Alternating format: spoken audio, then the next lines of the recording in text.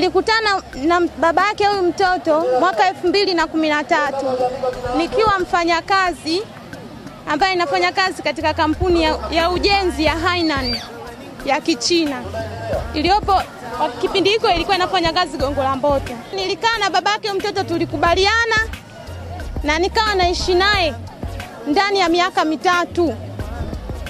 Baada ya hapo nikafanikiwa kuzaa huyu mtoto Dodoma.